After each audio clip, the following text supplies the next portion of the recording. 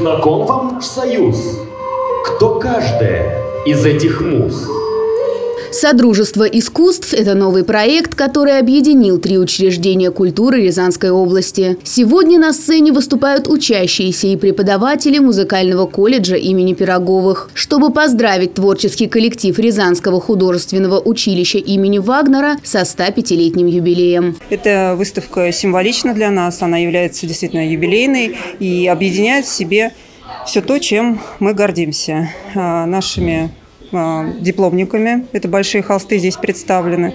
А, мы показали наше направление в учебной работе на живописном отделении на отделении дизайн, потому что у нас разный подход для каждого отделения. Плюс э, здесь, конечно, в год педагога и наставника представлены наши действующие педагоги.